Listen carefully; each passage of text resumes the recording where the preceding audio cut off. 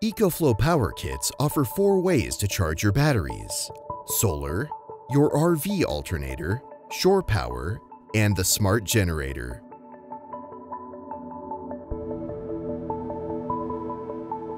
Before you purchase solar panels, first assess the roof space on your RV or off-grid build and determine how many panels you can fit by checking the dimensions of your chosen solar panels. The Power Hub supports up to 4800 watt solar input, with three dedicated ports, each allowing up to 1600 watts input for solar or your alternator. Here, EcoFlow's portable solar panels designed for power kits are a good match, as they're durable and rugged for outdoor use. If you're an RV user, it's best to plug all your panels into one of the dedicated solar ports, since they aren't likely to exceed to 1600 watts. This way, you can free up the other dedicated port for portable solar panels and the alternator port for alternator charging. If you're building for off-grid, you can spread the panel's input across the three ports to ensure even charging in the event that some of your panels are shaded. The alternator charging port on the Power Hub is supported by a convertible DC to DC battery charger with an MPPT module, which can support either alternator charging or solar charging. Here, we will explain how to use vehicle alternator charging.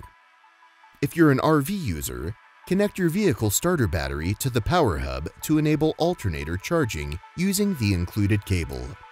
First, connect the positive of the cable to your vehicle's starter battery's positive.